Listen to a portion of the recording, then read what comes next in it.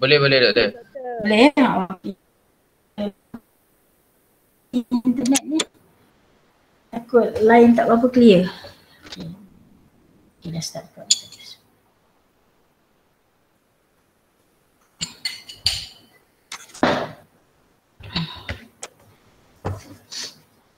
Okay, hey, ini kita tengok dari segi apa dia macam mana performance kita in terms of uh, investment, uh, foreign investment ni.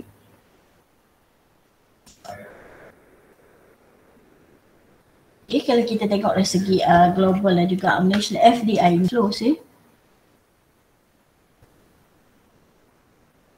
Sebab kalau kita kata sebab sekarang ni kita dah rapi pandemik ni hampir tahun yang kedua jadi sebenarnya post pandemic ni sebenarnya dia lebih banyak ya opportunity ya untuk adakan uh, cooperation global cooperation so that kita uh, economy for the international economy will go uh, back to normal ni sebab sekarang ni kita dah hadapi recession kalau sebelum-sebelum ni recession yang kita hadapi adalah disebabkan oleh uh, financial crisis, uh, global economic crisis sekarang. Now uh, disebabkan oleh health crisis. Eh? Okay, kalau dekat Malaysia sendiri pun kita dah tengok berapa uh, ratus ribu yang dah infected eh, dan uh, yang ni belum lagi berakhir. Eh. Jadi akan uh, still uh, ongoing. So harap-harapnya semua uh, pandemik ni akan berakhir supaya kita semua boleh menjalani kehidupan macam macam biasa. Eh.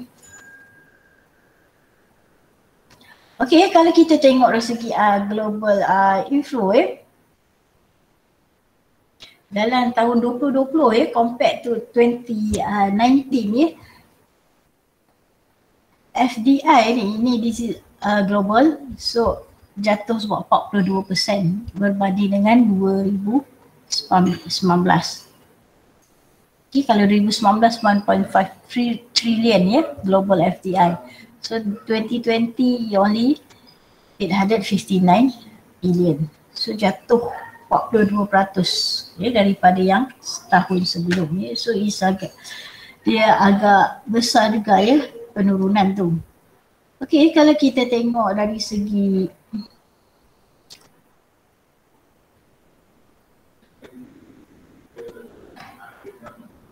kita tengok lah eh. saya nak tengok dari segi uh, Malaysia punya FDI kalau kita tengok dari segi inflow kita eh, meningkat sebanyak 0.8% berbanding pada 2019 ya peningkatan yang uh, ada peningkatan lah ya, walaupun kurang daripada 1% ni. Total kita adalah sebanyak 13.9 bilion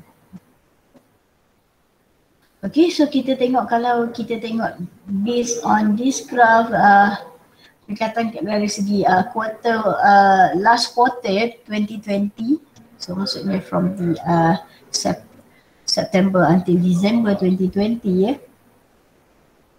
Peningkatan yang agak baik ya berbanding dengan quarter uh, first quarter the until third quarter ya.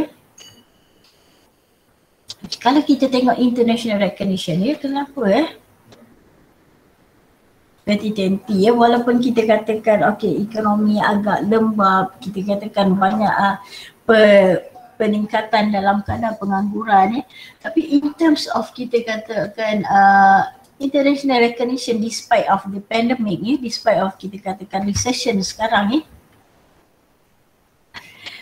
kalau according to World Bank doing business report 2020, ya, Malaysia is of doing business in ASEAN, yeah, in the second place. Okay, kalau dari segi uh, most vibrant investment ecosystem in Asia, eh, okay, kita we are the most vibrant.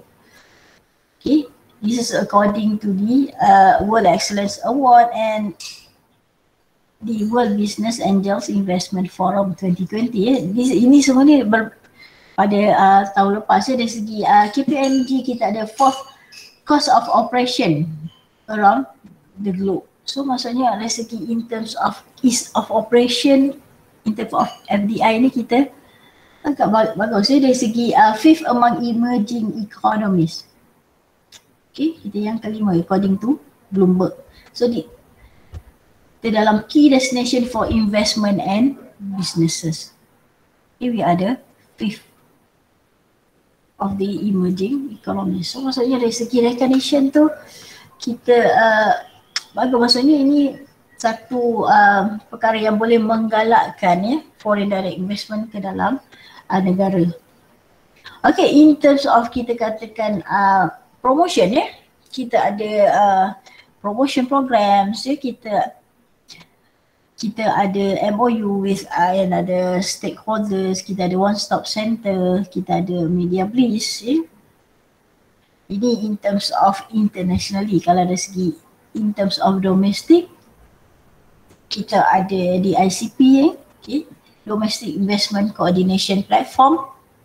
Kita ada investigative programs, domestic seminar, supply chain program, ada lighthouse project, ada penjana dan juga kita ada uh, in, in industry for for ada 4.0 eh kita ada automation ni eh dan banyak lagi lah. So ini this is among of the initiative that been done in 2020. So when said macam ni apa dia uh, measures is are among the measures ya. Yeah? Okay, in terms of kita kata performance, investment performance uh, in 2020,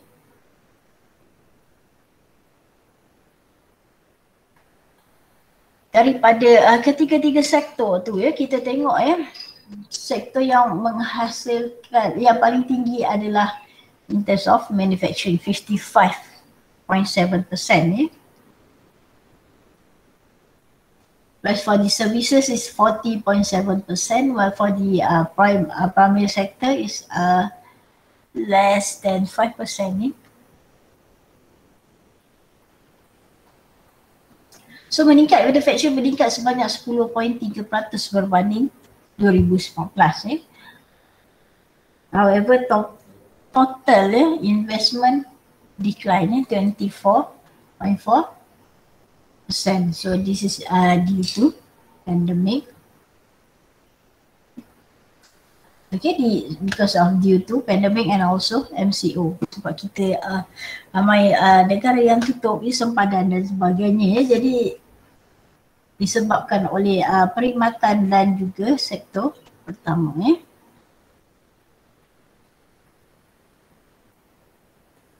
Okey, kita tengok dari segi uh, FDI. Okay. Negara-negara yang uh, terlibat dalam FDI di Malaysia ya ada uh, lima negara terpenting ya.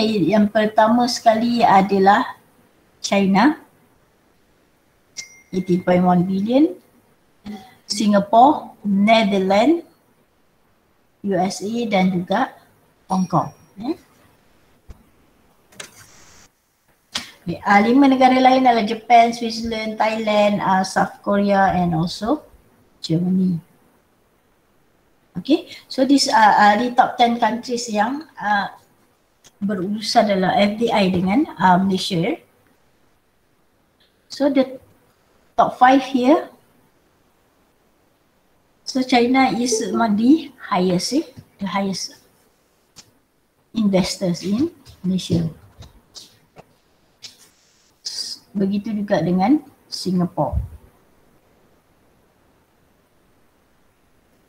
Okey, kalau kita tengok dari segi uh, dalam negeri ya, kita tengok dari segi uh, foreign investment Selangor yang paling tinggi. Okey, diikuti oleh uh, Sarawak foreign investment ya, boleh tinggi ya. Pulau Pinang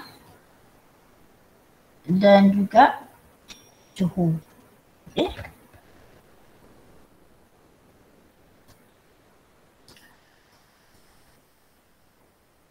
Okey, yang approve yang ni. Okey, yang lain ni saya off dia uh, tengok sendiri. Okay, so kita go to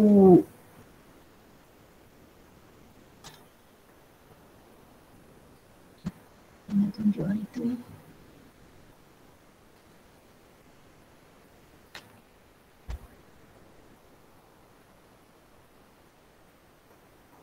Okay, that's all yang lain tau boleh tengok sendiri. So, saya nak tunjuk uh, okay, kita sambung uh, dari segi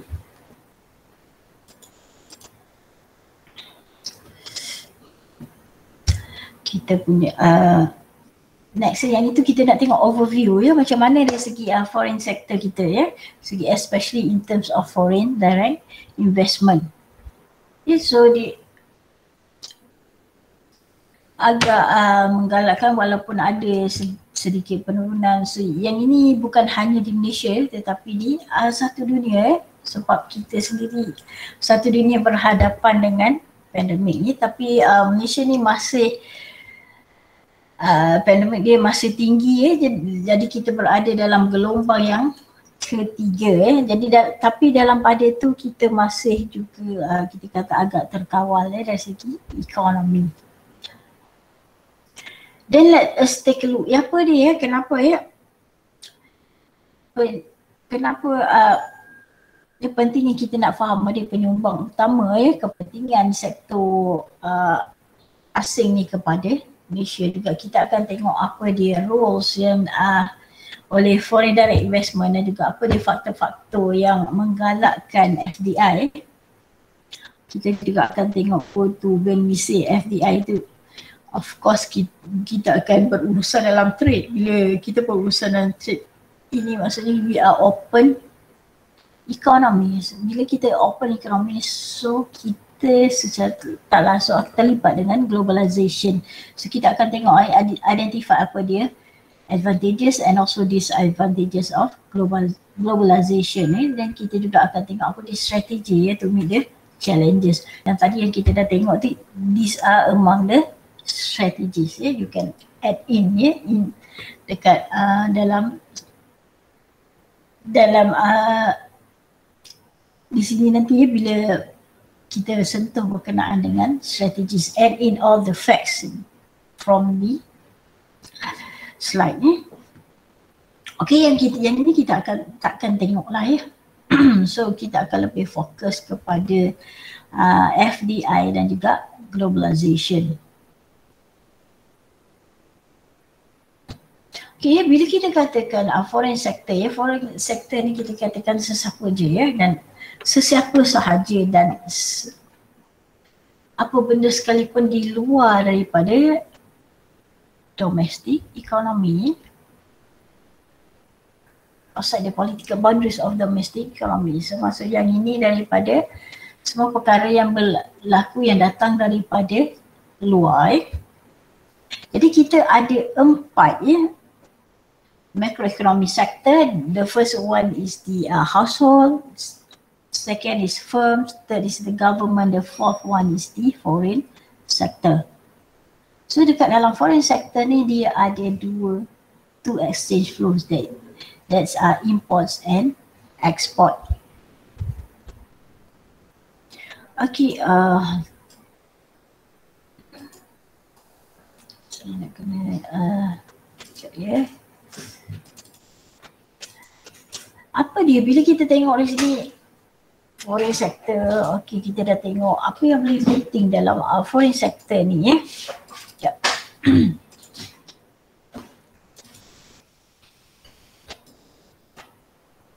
slide. Tadi saya sudah buka slide ni, okey. Okey, when to the FDI kita akan refer kepada investment ya investment dalam form in terms of financial instruments ya daripada equity capital reinvested earnings ya dari segi ada capital dari segi intercompany loans trade credit advance. So apa-apa sahaja yang melibatkan dari segi uh, instrument ya financial oleh investors from the from the outsiders eh, from the foreign countries okay. dalam dia punya uh, investment eh, di, di Malaysia. Okay, jadi bila kita katakan direct investor ni dia maksudnya siapa-siapa sama ada individu ataupun company eh, yang memiliki sama ada directly ataupun 10% of the equity, equity capital ya. Pemilikan ya. Pemilikan 10% daripada syarikat tu ya pemilikan dia di Malaysia. Dikatakan direct investor. Okey tadi kita katakan ada two exchange flow ya di uh, bagi foreign investment tu ya yang iaitu import dan export eh. Jadi kita dah tengok uh, dari segi kita dah tengok apa dia international recognition yang tadi ya. So kita tak perlu nak masuk yang ni. Dan dari segi import dan export ni bila kita katakan import apa barang yang dikenali sebagai import ni? Maksudnya apa sahaja barang yang dibawa masuk ke dalam uh, negara ya. Dari segi sama ada directly ataupun uh, di dalam uh, ke dalam uh, warehouse ya. tak kisah sama ada barang tu untuk consumption untuk diproses ataupun untuk per, uh, kegunaan ya untuk proses perkilangan semuanya dan juga untuk di re-export semula eh, ke, ke negara lain ya. So ini dikenali sebagai import. So bila kita katakan ekspor, ekspor ni maksudnya dia macam sebarang uh, barang yang kita bawa keluar eh. Maksudnya dia keluar daripada Malaysia. Itu sebagai ekspor. Jadi bila kita ada balance of trade ni maksudnya uh, perbezaan antara ekspor dan import. So bila ekspor lebih daripada import kita katakan kita ada surplus dan kalau import lebih daripada ekspor we have deficit. So basically uh, so far our export masih lagi melebihi import. So that's a good thing eh. So bila kita tengok dari segi uh, kita dah tengok tadi ada for macroeconomic sector tadi kan. Okay so kita tengok sikit berkenaan dengan circular flow ya. Bila kita sebut dari segi uh, circular flow ini adalah uh, empat macroeconomic sector yang pertama iaitu dari segi household, government dan juga businesses. So when we say uh, ini dalam uh, in a closed economy. So when we have open economy, so we include the foreign sector. Okay, ini dari export berlaku apabila kita, uh, barang keluar daripada negara dan kita import daripada barang daripada negara lain dan sama ada tujuan penggunaan ataupun untuk proses dan, ataupun untuk re-export semula ya masuk ke dalam negara. So bila kita tengok dari segi uh, di sini ya ekspor uh, dari segi household dan juga business ya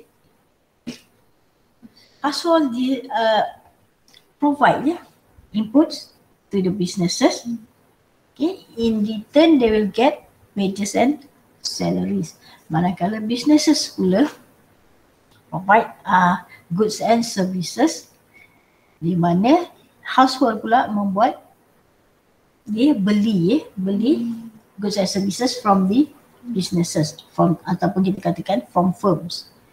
Okay.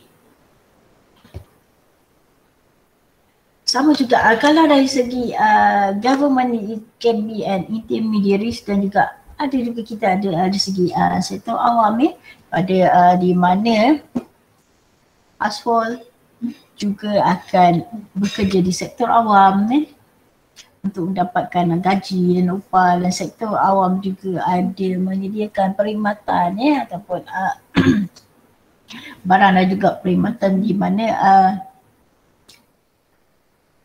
firma dan juga okay, household ni membuat menggunakan services tersebut ya atau barang dan servis tersebut yang disediakan oleh uh, government ya. Jadi all these are interrelated.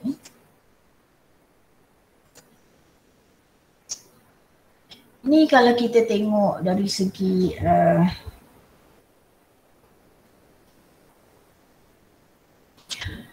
contraction ni dari segi ni April 2020 ya kalau kita tengok dari segi contraction ni masa kita tengok uh, penurunan ni dari segi ni ya ekspor ni penurunan ni lebih tinggi berbanding dengan import import penurunan sebanyak 8% manakala ekspor menurun lebih daripada 20%. Okay.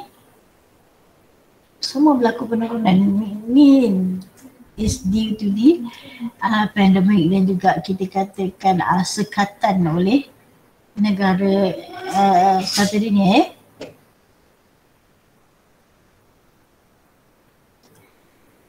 Okay, this is our uh, top 3 ini dari segi uh, trade kita dengan ASEAN eh. Share kita adalah 22.8% eh.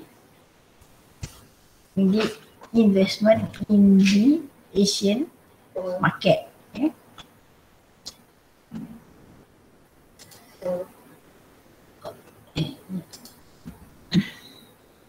Okay. Kita tengok apa dia contribution ya of the foreign sector. Bila kita tengok dari segi uh, Bila kita tengok dari segi contribution yang pertama sekali ya super continuous development eh. Jadi maksudnya foreign sector ni akan membantu dari segi penerusan dalam pembangunan yang berterusan dengan cara dia boleh uh, bawa masuk eh, peluang pekerjaan dan juga kita katakan modernizing di ekonomi eh. Bila, maksudnya bila kita katakan modernizing maksudnya membangunkan lagi, memodernkan lagi sektor-sektor ekonomi eh. And then secondly dia akan uh, provide dia global linkage ya. Ini segi uh, foreign market access to the global economy ya. dan juga kita katakan uh, dari segi opportunity for the investment globally dan juga kita kata kita akan tingkatkan lagi cooperation internationally. So maksudnya bukan hanya kita bergantung kepada uh, Malaysia sahaja semata-mata in terms of domestically ya. Penduduk dalam Malaysia sahaja tapi kita juga ada linkages dan juga kita katakan ada cooperation dengan uh, international countries seperti tadi sebab kita ada five trades tadi negara China, uh, kita uh, USA, South Korea, Singapore. Eh. Jadi itu merupakan negara-negara penting. Jadi bila kita dah tengok yang itu merupakan uh, kita punya uh, akan closing in terms of FDI. Jadi sebarang eh contraction yang berlaku di negara tersebut akan eh, mempengaruhi ekonomi Malaysia dia. Jadi secara tak langsung bukan hanya kita kata uh, barang-barang Malaysia juga kita boleh ekspor ke negara-negara luar ya. Okey, jadi yang seterusnya kita akan ada ya variety of choices. Jadi banyak pilihan ya, pengguna ada banyak pilihan. Bila kita katakan banyak pilihan ni contohnya macam uh, kita katakan uh, kereta lah kan ada banyak pilihan kereta yang boleh dibeli selain daripada uh, local uh, made uh, automobil kita juga ada kereta import eh. Honda, Toyota, Mercedes, BMW, Hyundai dan ada uh, macam-macam brand yang lain ya. Itu baru uh, kereta belum lagi barang-barang uh, brand jenama yang lain ya. Pakaian dan sebagainya ya. yang seterusnya boleh meningkatkan lagi persaingan dan juga kita boleh harga boleh menjadi semakin rendah ya sebab produsen ni akan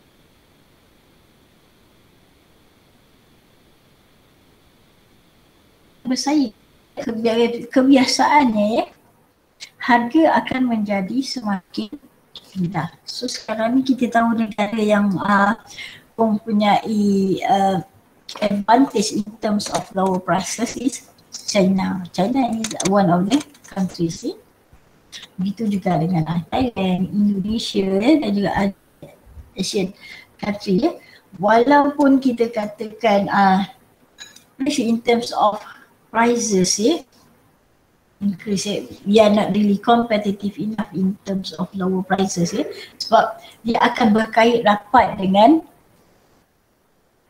buruh asing ya, dari segi uh, gaji ya. yang ini dia akan mempengaruhi harga ya, cost of production ya. Tapi kita lebih kepada stability ya. Okay, that's why we are ranked di second ya in terms of kita katakan uh, mudah ya untuk berurusan ya. And last ni kita uh, teknologi transfer tu ya penting ya. Jadi teknologi transfer tu kita tahu dia boleh enhance productivity. Bila enhance productivity maksudnya increase productivity apa yang berlaku? Will increase the income, income of the country. Eh? Jadi bila adanya teknologi ni bukan hanya kita katakan will increase productivity tetapi kita katakan will increase the skill of the workers as well. Eh? Okay, kita tengok dari segi rules dia. Apa dia rules yang uh, dibuat oleh uh, foreign direct investment ni? Eh? tadi saya dah masuk dari segi uh, foreign direct investment ni wali dia definition tu ya. Jadi maksudnya bila kita katakan FDI ni ya, dia mesti daripada negara luar. Hmm? daripada negara luar yang datang masuk ke buat uh, yang invest ke Malaysia ya. Jadi maksudnya akan ada hubungan jangka panjangnya di antara direct investor, uh, enterprises, management dan juga dengan uh, nation uh, kita katakan uh, government eh, with government eh. Okay, bila kita katakan dari segi apa rules of FDI, yang pertama segi employment creation. So bila kita kalau awak tengok slide tu dengan lebih details lagi ya kita kita akan ada dari segi peluang penambahan peluang pekerjaan dalam uh, sektor terutama sekali segi manufacturing sector and also services sector eh. Jadi awak boleh uh, refer back to the uh, slide yang saya dah uh, tunjuk yang dari, daripada Maida tu dia ada uh, details facts ya about the employment creation.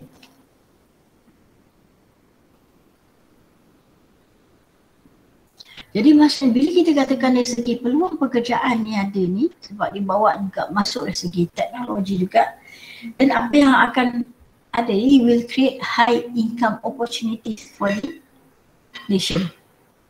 Not only for uh, nation tapi in the way dia akan juga bawa masuk uh,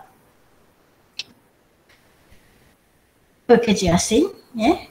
Tetapi dia akan memberi faedah juga ya kepada Malaysia ya. Kalau dari segi bawa asing pe, uh, pekerja kita katakan in terms of top management so our worker skill ya, Malaysian skill will increase and we learn a lot from the from the uh, top management from the uh, technology transfer eh. Jadi maksudnya dari sini dia akan increase the productivity, increase uh, the uh, teknologi transfer dan juga create vast uh, employment opportunity. Okay, yang seterusnya dari segi economic growth ya. Bila semua ni berlaku ya secara tak langsung ya peningkatan dalam productivity kita katakan uh, peningkatan dalam teknologi apa yang berlaku? Dah tentu dari segi peningkatan dalam income. Bila peningkatan dalam income kita tahu dia akan meningkatkan pertumbuhan ekonomi eh. sebab kita uh, so based on the recognition tu dia mesti is not ada simply the ranking dan semua ni mesti akan based on uh, something about uh, kita punya uh, GDP dan juga economic growth ya annual economic growth ya dia ada relation di situ ya kenapa uh, pentingnya FDI ni ya. Yang seterusnya dari segi uh, teknologi transfer and skills tu kita dah sentuh juga tadi ya. Jadi sebab teknologi ni memerlukan modal yang besar. Jadi bila ada FDI so in a way is a blessing in disguise. Sebab apa? Ya kita tengok dekat situ, okay dia akan membawa masa teknologi. Secara tak langsung dia akan memudahkan uh, pekerjaan, mempercepatkan lagi uh, kita katakan uh, proses, meningkatkan lagi produktiviti dan juga meningkatkan skills ya. Seterusnya dari segi upgrade of infrastructure ya. Biasanya bila adanya yang FTI ni secara tak langsung kita akan upgrade kita in terms of dari segi telecommunication ya. Because we are dealing globally It's not okay, macam okay bukan dalam Malaysia setakat-setakat Malaysia dalam dari segi uh, luar bandar dan bandar ya tapi in terms of abroad eh in terms of global context eh jadi infrastruktur ni adalah penting eh. Contohnya kalau dulu kita ada uh, nation airportnya di Subang Jaya sekarang ni kita dah ada KLIA dan kita juga dah ada dari sini untuk memudahkan lagi kita katakan um, people commute ya. Yeah. Infrastruktur ya. Segi MRT, LRT, uh, segi uh, rail uh, uh, jalan raya, meski ada highway, banyak dah highway semua tu. So, jadi dia akan mempermudahkan lagi ya. Bukan hanya perjalanan, dia secara langsung meningkatkan juga productivity ya. And kita katakan quality of life ya. Yang seterusnya ya, dari segi uh, export market ya, dia ada jaminan ni sebab bila ada perjanjian ni antara uh, contohnya tadi kita ada uh, dengan China, kita ada dengan USA, with South Korea. Eh. Jadi maksudnya ada jaminan ekspor ya. Ekspor barang kita ke luar, eh, ke negara luar. Jadi kita akan ada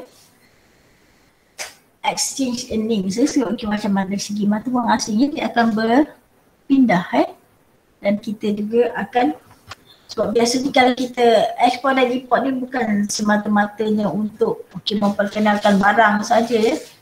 Yang pertama adalah untuk increase our apa income kan. Strengthen the income uh, in terms of, of global market. Jadi apa dia faktor-faktor yang menggalakkan FDI eh? Kalau kita kata what are the pull factors? Yang pertama segi well developed infrastruktur. So kalau kita tengok perubahan yang berlaku ya, banyaknya daripada uh, infrastruktur yang ber, berlaku ni kalau kita tengok daripada 10 tahun lepas banyaknya okay, bangunan uh, tinggi-tinggi dah ada dari segi in terms of uh, jalinan jalan raya, in terms of communication, uh, in terms of kita katakan uh, dari segi udara, darat dan laut dia semua uh, bagus dari segi infrastruktur begitu juga dari segi sistem telekomunikasi dia. So uh, di situ kita katakan dia ada uh, well developed infrastruktur ya. Yang seterusnya dari segi kita akan ada ya bila kita uh, berada dalam global market ni maksudnya size of the market will become kalau dulu kita uh, okay. Kalau dalam Malaysia domestik sahaja kita hanya ada t- boleh cater 32 million people sahaja. Kalau outsiders ya so billions of people. Okay, sebab tu kita we go for global market. Okay. Dan juga bila kita sebab selalu kita tengok dari segi economic of scale ya, kita tahu lebih banyak ya barang yang kita boleh keluarkan semua it will reduce the production cost. Okay, because in terms of volume, the higher the volume, the lower the production cost. Okay, yeah, will minimize the cost per unit output. Okay, and then kita juga ada dari segi uh, peningkatan dari segi workforce ya, dari segi kita katakan okay, dari segi uh, tenaga buruh yang mempunyai uh, education dari segi high skill education ya, high skill and also highly educated workforce. Okay. Our strength here is the educated and also high skill workforce. Okay, compared to negara ASEAN yang lainnya in exception of Brunei and also Singapore. Eh. Okay, kita masih lagi dari segi uh, lower exchange rate di uh, ni ya, in host country itu maksud sebab negara kita masih exchange rate kadar exchange rate kita masih rendah ya bila di compare to the uh, Singapore dollar, we compare to the uh, US dollar, pound, ya, yeah, euro ya.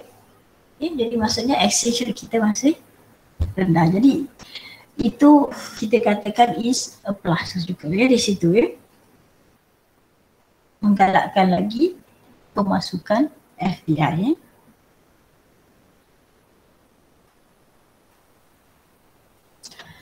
Okey dari segi government seperti foreign investment policies Itu pentingnya kita katakan adanya uh, policy-policy kita uh, kita katakan intervention from the government ya.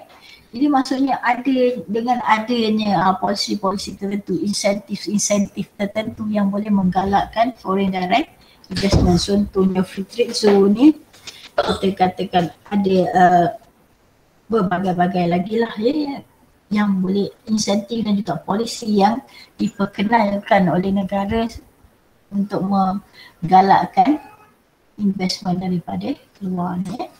Dan yang paling penting dari segi political environment is stability of the politics political environment is very important ya sebab tu uh, tengok kalau negara-negara lain berlakunya rusuhan berlakunya uh, kalau penggulingan kerajaan dan sebagainya itu akan uh, membuat kan kerajaan dan juga kita katakan ekonomi itu agak kucak kacir. Jadi kita stability dan kita katakan dari segi uh, kawasan uh, yang aman semua tu itu menggalakkan lagi masukan daripada investment from outside. And kita juga ada uh, inflation, low inflation dan juga interest rate yang rendah. So dari segi uh, ini yang penting ya untuk menentukan uh, low inflation ya. Low inflation ni kita tengok sekarang ni lagi uh, rendah ya. Sebab barang so orang tak banyak beli barang. Jadi barang so inflation kita juga uh, kurang daripada 2% ya sekarang ya dan juga interest rate bila kita katakan in terms of uh, kita tengok banking loan semua tu dia juga adalah rendah.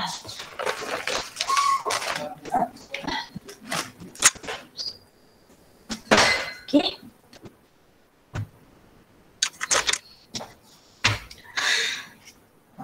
Okay, itu in terms of uh, roles of FBI. Ya. So kita tengok next kita akan tengok globalization. Ya, bila kita sebut FDI saja negara luar uh, masuk ke dalam negara ya, investment from the outside so kita tengok globalization ya. So bila ada FDI semua tu dia tak tentu kita kata kita we are going global ya. Global ni ada ni kita dah tahu kita ada trade ya, open economy ya. So what is uh, globalization means?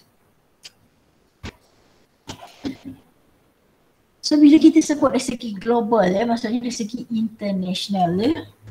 International of what? Inter interaction ya. Integration among people, among the countries ya. Government of different nation ya. Jadi maksudnya kita ada open trade, investment, financial flow, ya, ada exchange of ideas, information, technology and knowledge. So maksudnya uh, ni kita, sebab tu kita ada macam-macam ya is ASEAN ada uh, macam-macam lagi dia ada ada kalau macam ni ada OPEC ada dia ada pelbagai perjanjian ya in between two countries ada ada in between the whole macam kita ada ASEAN ni ada tujuh negara ya uh, di region ya Asia ya region Asia pula lebih besar ya kita juga ada in between exclusively between two countries. Contohnya between China between Singapore is different ya different interaction different. Uh, so kita juga biasa kalau globalization ni kalau ada ideas of semua tu information knowledge semua tu dissemination of knowledge semua tu kita ada world summit ya ada macam-macam lagi lah ya internationally they are being organized internationally di mana participants semua tu eh, terdiri daripada many nation ya sebab kita ada 180 nation if I, 189 kan semua sekali ya tapi definitely tak semua yang terlibat ya tapi maksudnya seratus lebih negara yang terlibat dalam proses globalization. Apa dia kebaikan ya globalization ni ya? Bila kita tengok segi uh, impact dia, ya, dia ada ada positive impact dan juga ada negative impact. Ya. Jadi kita tengok apa dia uh, advantages dia ya. Yang pertama faster, cheaper exchange of goods, money and ideas. So jadi bila adanya proses interaction ni di antara uh, negara okay, to trade, investment dan semua tu, ya, teknologi dan sebagainya. Jadi maksudnya ideas tu lebih cepat ya. Exchange of ideas, exchange of goods, exchange of money lebih mudah dan murah eh. Sebab apa? Sebab kita juga ada advanced in transportation dari segi advanced in modern telecommunication. Now kan semuanya di hujung jari kan? Okay? Especially lagi during the pandemic kan? Ramai yang bekerja work from home dan sebagainya eh? Work from home pun boleh buat duit. Boleh ada meeting boleh ada uh, kelas boleh ada lah. Sebagainya you can also uh, reach uh, people from abroad ya. Jadi maksud yang ni di mana-mana saja. Jadi maksudnya mudah, pantas dan murah ya. Exchange of ideas, goods and money ni. So kita katakan globalization ni bukan hanya connect uh, kita kata firm saja jadi it's also connect people from around the, the world connect the uh, companies from around the world and also organization from around So maksudnya we can do the uh, kita katakan uh, exclusive meeting and also mutual understanding, yeah, mutual trade yeah, between the nation. Okay, then uh, second benefit of free trade, yeah. So maksudnya bila kita tengok uh, free trade ni maksudnya ada kita buka ekonomi, ya, maksudnya ada export dan import. Okay, jadi bila ada free trade ni man, tak ada lagi barriers ya. Jadi maksudnya pasaran lebih semakin besar dan kita kata uh, kan okey dulu tekanannya tak boleh nak ekspor, tak boleh nak import. So sekarang ni banyak lagi pilihan yang kita boleh dapat ya. Jadi ada banyak benefit of free trade ni saja. Di samping kita katakan kita boleh earn gain from the earnings from the export eh yang seterusnya dari segi sharing of labor and expertise ya. Bila kita katakan uh, sharing of labor and expertise Okay kita ada uh, bila ada uh, multinational corporation di masuk ke dalam Malaysia maksudnya ada ni FDI Foreign Direct Investment Indonesia dia uh, dia juga bukan setakat membawa masuk investment sahaja pelaburan dia akan membawa masuk juga dari segi teknologi dia uh, masuk juga dari segi uh, skilled workers ya yeah? from the uh, top management uh, jadi maksudnya ada sharing of knowledge ya, sharing of knowledge, sharing of expertise ya. Jadi maksudnya kita initially dari segi in terms of uh, katakan employment opportunity be, will become higher then kita punya kita katakan we will also become high skill workers ya. Kita juga dari segi uh, knowledgeable uh, workers, you can highly educated workers ya you can add into into that.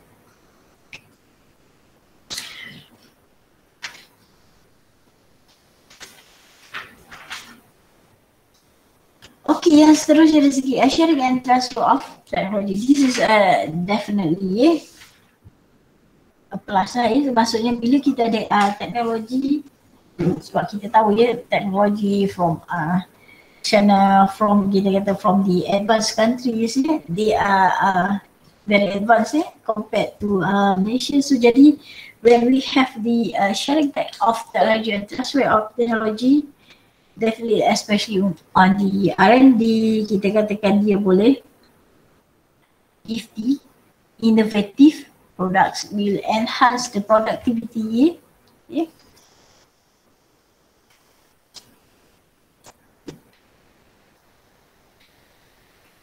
Okay, lastly dari segi economic growth di foreign investment. Ya. Yeah.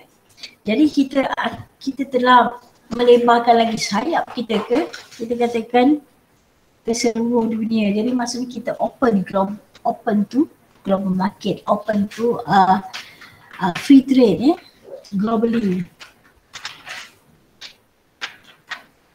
Jadi bukan hanya ya, jadi uh, foreign investment ni akan meningkatkan lagi dia meningkatkan pendapatan akan juga meningkatkan pertumbuhan ekonomi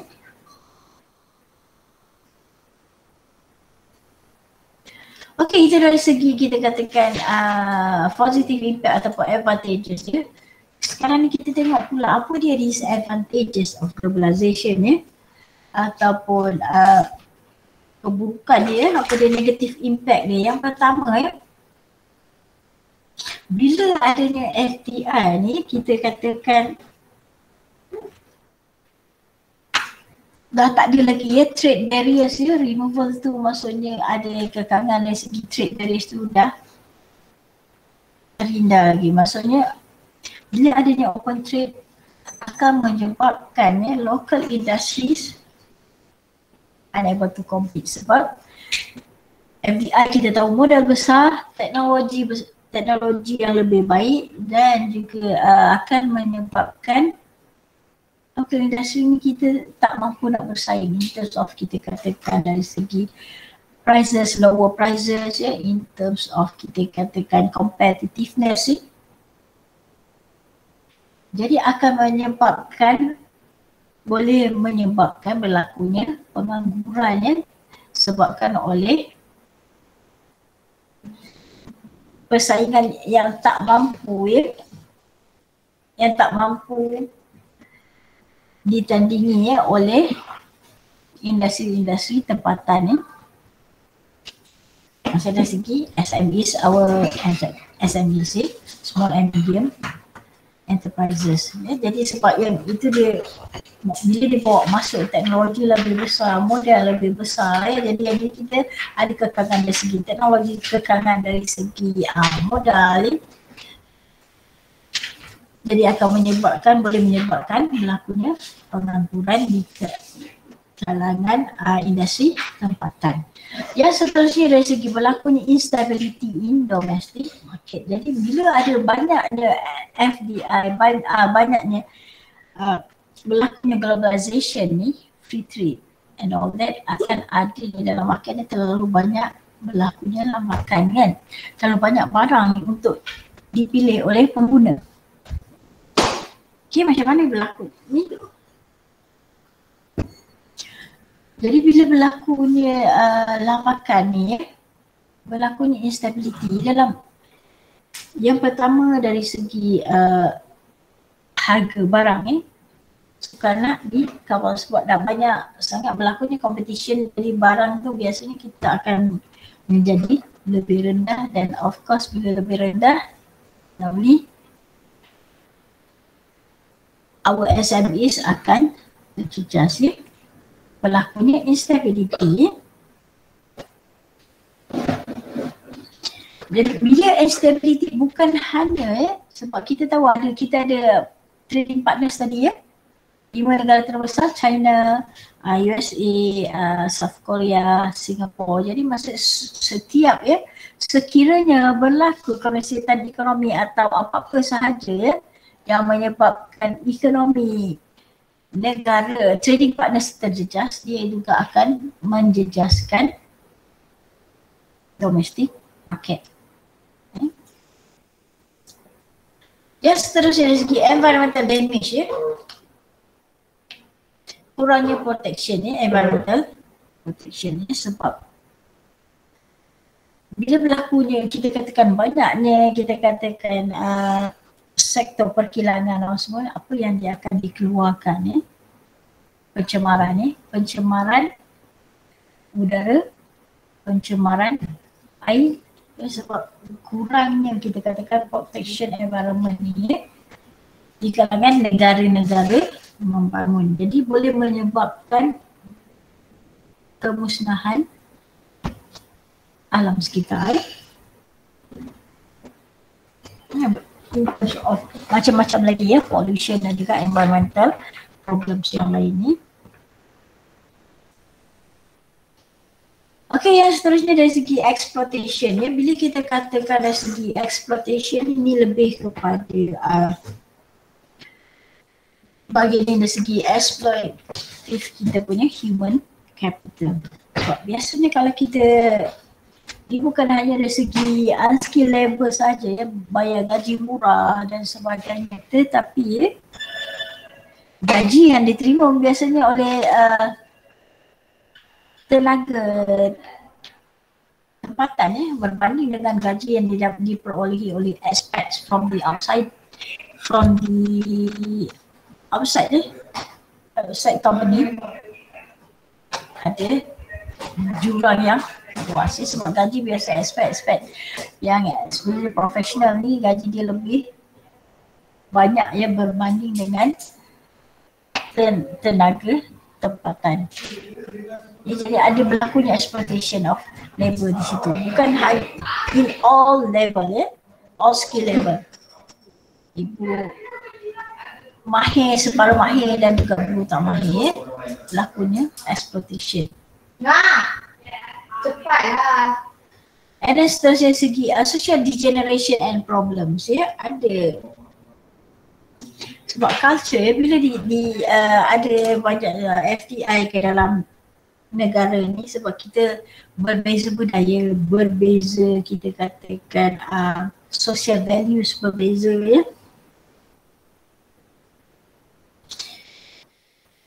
Okay jadi maksudnya dia akan uh, ada impact in terms of social generation. Okay, mungkin terlalu uh, bebas ya dan ada macam-macam lagi yang problem in terms of social problems. Dan sebab biasanya kalau uh, labor yang data dibawa masuk ke sini dia ada ramai yang hanya bawa diri saja tidak bawa keluarga dan sebagainya jadi akan ada social problems yang lain ni. Okey, yang seterusnya yang akhir sekali dari segi black market. Ya. Bila kita adanya ya, berlakunya globalization apa semua ni dah tentunya adanya ya black market dan juga kita katakan uh, illegal uh, cross border activities ya. Adanya multinational crime syndicate jadi macam ah, mafia punya ni pula eh. Okey jadi ya maksudnya bila ada ni illegal activity contohnya dari segi uh, penyeludupan dadah semua tu dia ada yang bawa masuk kan? Selalu kita dengar penangkapan ni daripada uh, daripada okey berapa juta ringgit dapat dadah yang dibawa masuk kan? Yang berjaya itu yang berjaya tangkap yang tak berjaya ada. Jadi maksudnya selain daripada uh, benefit tu ada dia punya drawbacks dia ya. Smuggling bukan hanya smuggling barang saja ya. Smuggling people juga eh. Okay, jadi maksudnya ada macam-macam lagi dari segi in terms of uh, drug trade, illegal trade ya. Uh, contoh rokok-rokok mahal di Malaysia. Okey, adanya penyelundupan rokok, eh, penyelundupan alkohol, penyelundupan uh, dadah, penyelundupan manusia, eh, organ manusia dan sebagainya. Ya, ada jadi ada pelbagai uh, masalah juga. Eh.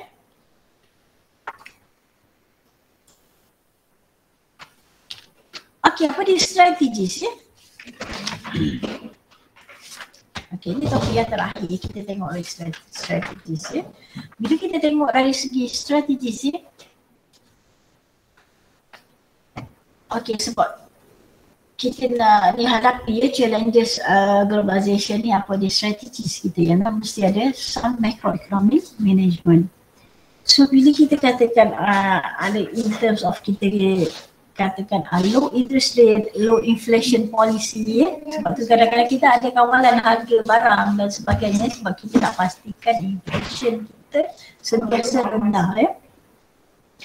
Dan juga kita katakan okay especially uh, sekarang ni kita katakan uh, interest rate adalah rendah ya kalau if you want uh, yang nak buat loan dan sebagainya ya.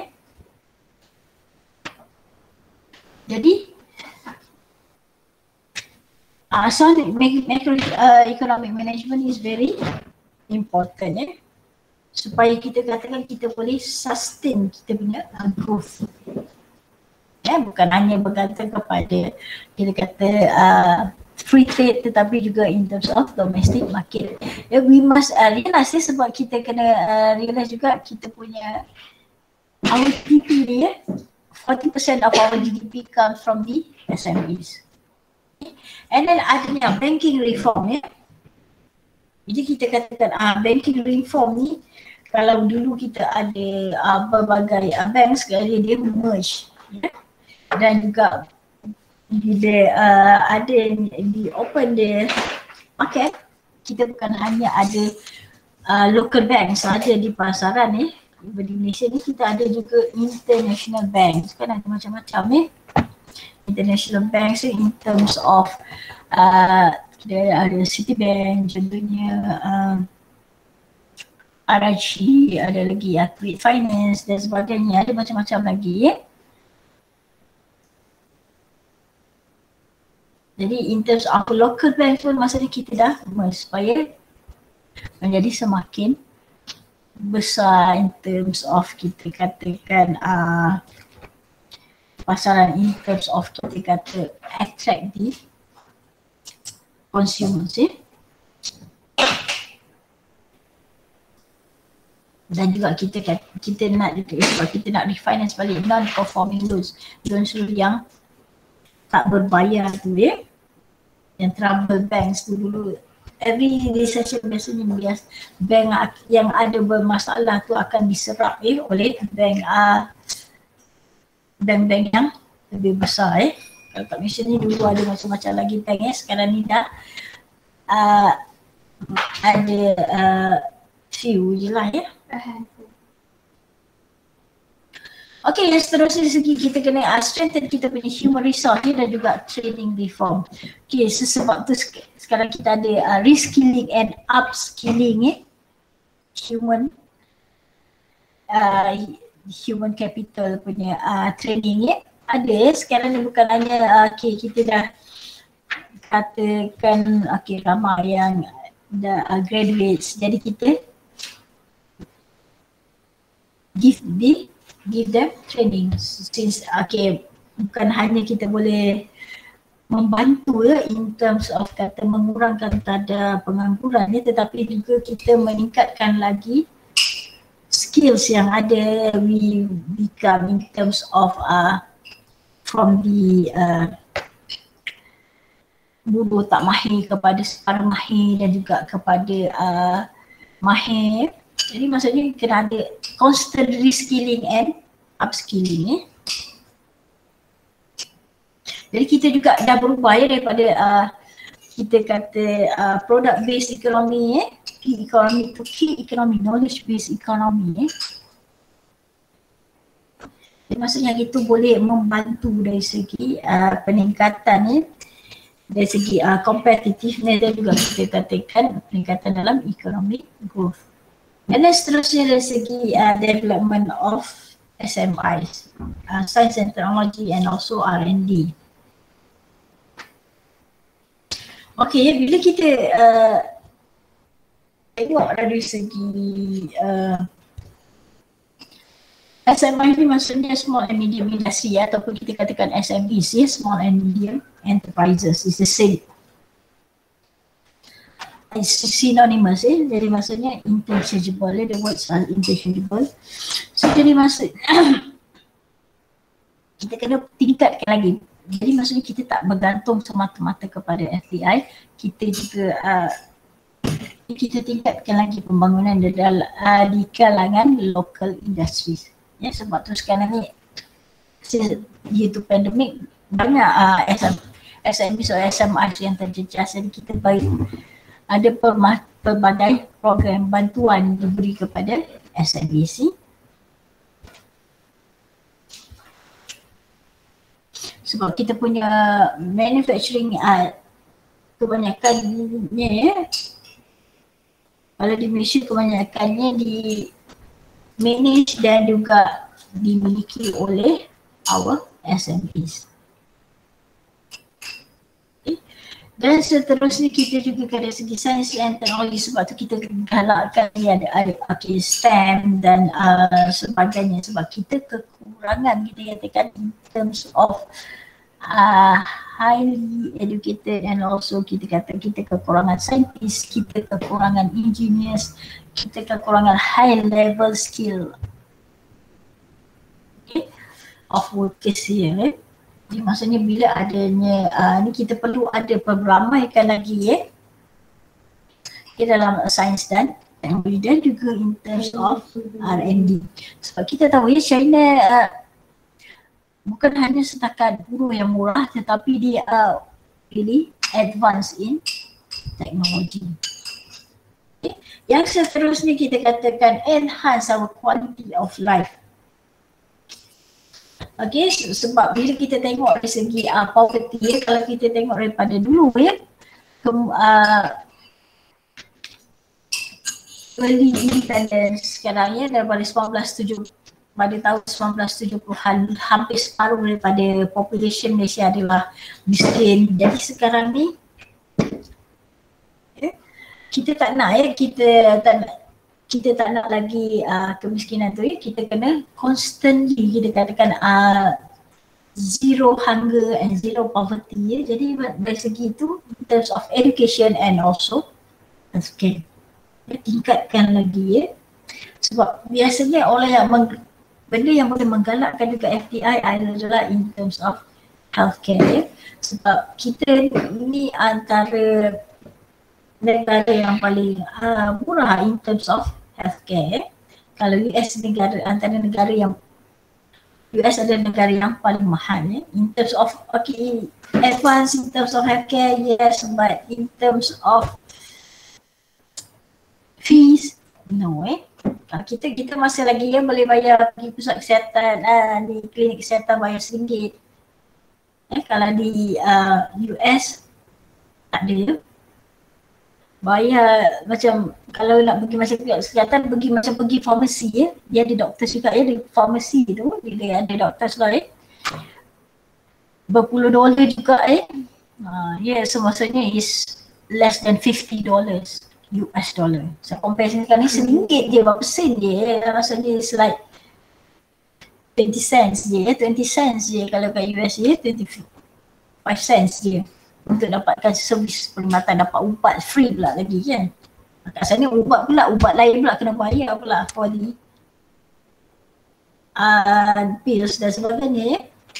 Sebab tu kalau UK, even uh, UK, Germany free education, free kita katakan uh, free healthcare tapi tax yang tinggi. Jadi ada advantage tapi Malaysia ni kita katakan agak baik dari segi in terms of education. Kita juga kata no one left behind. Jadi maksudnya bila sekarang ni zaman uh, internet ni PDPR semua tu kan. Jadi masa sebab tu dia ada galakan dari segi uh, bantuan laptop bantuan uh, phone dan sebagainya supaya kita tak nak ada yang tertinggal dan juga. Kita uh, galakkan guru di kalangan orang asli dan sebagainya ada setengah tu dia have to go meet the people eh. Bukan hanya PDPR saja sebab mungkin tak ada coverage dan sebagainya eh. Okay and lastly dari segi in terms of strengthening our moral and ethical values. Ya, jadi maksudnya bila kita katakan okay, negara kita banyak sumber kan kita katakan okay. Jadi bila kita adanya strong ethics, strong values jadi maksudnya less corruption, uh, kita katakan supaya uh, income from the GDP will go to the people, we go into the development. Eh? Okay, high, we have high honesty, high discipline, high integrity, eh? high commitment. Jadi maksudnya di sini semua ni boleh menggalakkan lagi uh, kita katakan uh, our our stand in terms of uh, strengthening our inner self. Okay.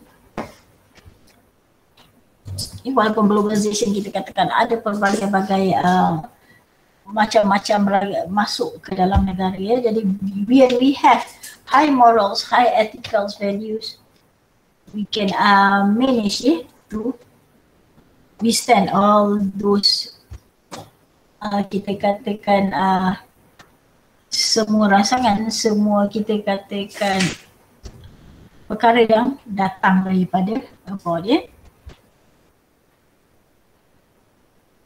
Okey, itu uh, berkenaan dengan FDI dan juga globalization. Ada soalan? Ada soalan? Apa-apa soalan ni selain daripada uh, uh, ni globalization dan juga dan juga FDI the open to questions. Ada soalan?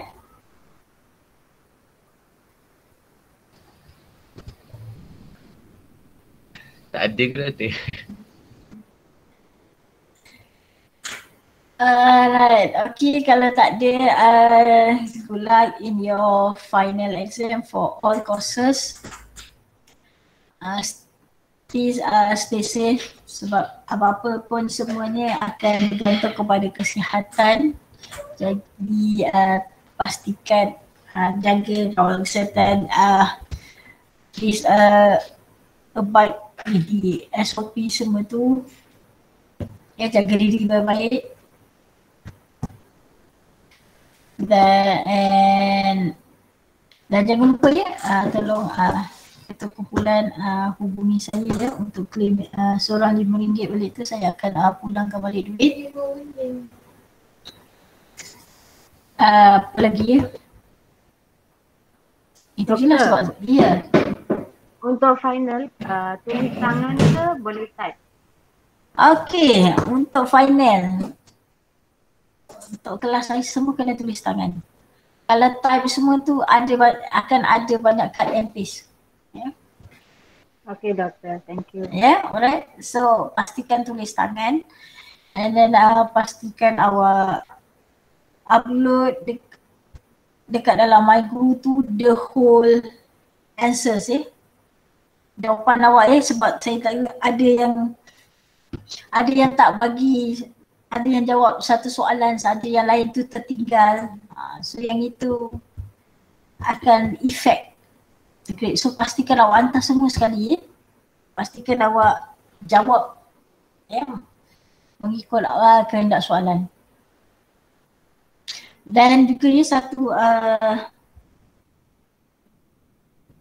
tips untuk jawab soalan yang pertama ya. Okay, tengok. And then lepas tu awak akan pastikan ada key point dan hurai. Ya tak nak jawab esay panjang melirik tak ada ni kan saya kena cari mana key point dia so pastikan key point dan huraian key point dan huraian. Okay. Contoh yang ni kita tadi. Okay, strategi. Uh, apa dia strategi to face uh, challenges of globalization? Okay. Sound macroeconomic management. Okay, apa dia huraian dia? Okay. Any questions? Um, doktor nak tanya kalau buat Ya, lihat dah. um, BM pun boleh ke doktor? Okey, soalan boleh uh, soalan unfortunately semua dia dalam bahasa Inggeris. Tetapi ja- jawapan awak boleh jawab dalam bahasa Melayu ya. Bahasa Melayu ataupun bahasa Inggeris. Boleh mana-mana lah. Okay, thank you doktor. Right. As long as saya faham cukuplah ya. Tapi uh, sorry I don't understand uh, Tamil dan juga uh, Mandarin ni. Kalau tak boleh je awak jawab dalam Mandarin dan juga uh, ni ya. Dalam bahasa Tamil ni. Tapi saya minta maaf saya tak faham. Okey ada soalan lain? Ada